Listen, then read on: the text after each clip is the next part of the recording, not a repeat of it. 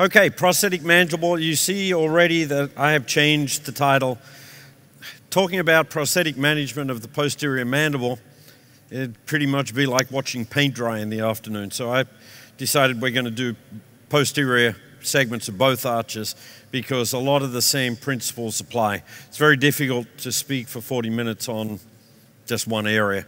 Um, so I hope that's okay with you. And uh, as we move forward, I want to begin kind of where we left off a little this morning that all phases of the treatment plan need to be completed before we initiate care.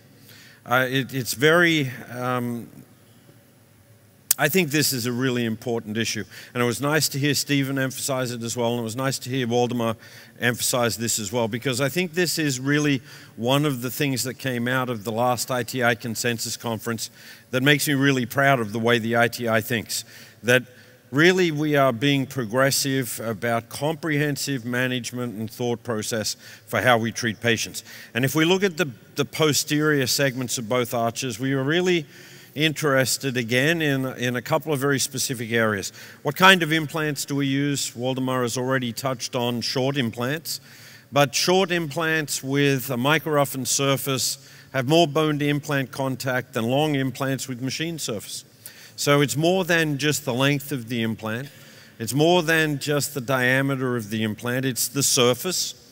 It's how well the surface interacts with the body and it's how well the surface interacts with different parts of the body and different parts of, of the mandible and the maxilla that make uh, it makes such a difference.